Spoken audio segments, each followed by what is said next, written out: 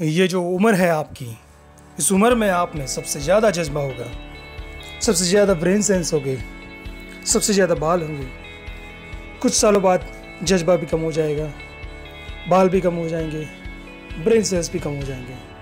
सो ये जो मौका आपको ज़िंदगी ने दिया है, ये जो थ्रेसोल्ड पर आप हैं, आप लोगों को सिर्फ़ इतना ही कहना चाहूँगा कि जैसी आपकी सोच है, जो आपके दिल में आए, ज़िंदगी भर सिर्फ़ वही कीजिएगा।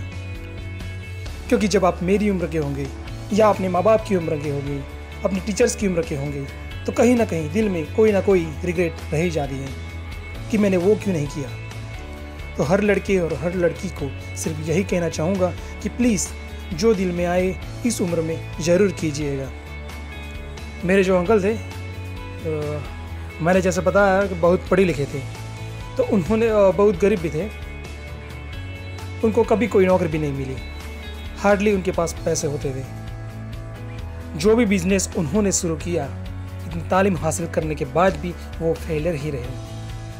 और क्योंकि उनके पास पैसे नहीं होते थे तो मेरे हर जन्मदिन पर अपनी कोई पुरानी चीज़ मुझको दे दिया करते थे।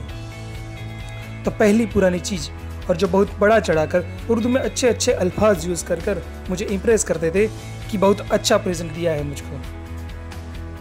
पहली चीज़ जो उन्होंने मुझे दी थी, वो उन्होंने मुझे शतरंज का सेट दिया था।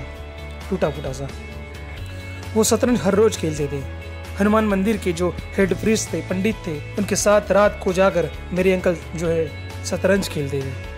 और उन्होंने मुझे कहा कि शतरंज से आप ज़िंदगी के बारे में बहुत कुछ सीख सकते हैं। पहली ये कि कोऑपरेशन और साथ मिलजुल कर काम कैसे करना है। दूसरी ये कि ज़िंदगी में आगे बढ़ने के लिए कभी कभी पीछे भी हटना पड़ता है। तीसरी ये कि जो छोटे लोग होते हैं, जो आप समझते हैं, कई लोग ऐसी बात मानते हैं, जो बॉन्स होते हैं, जो प्यादे होते हैं, उनकी सबसे ज़्यादा इज़्ज़त करना ज़िंदगी के अंदर। कोई भी इंसान छोटा नहीं होता, हमेशा हमेशा ज़िंदगी में काम आता है। और कामयाबी हासिल करने के लिए आखिरी बात शतरंज ये सिखाती है हमको कि कभी कभी जिस चीज़ से सबसे ज़्यादा लगाव होता है, जैसे रानी से लगाव हो जाता है कभी कभी उसे भी सेक्रीफाइस करना पड़ता है आगे बढ़ने के लिए। दूसरी चीज़ जो उन्होंने मुझे दी थी, वो एक टाइपराइटर दिया था।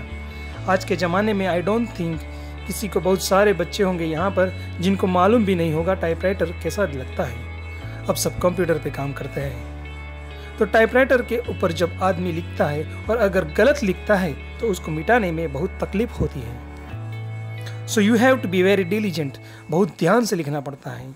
हम गलती नहीं कर सकते। और टाइपराइट्स यूज़ करते थे टाइप को निकालने के लिए। कभी उंगली फंस जाती थी उसकी कीज के बीच में।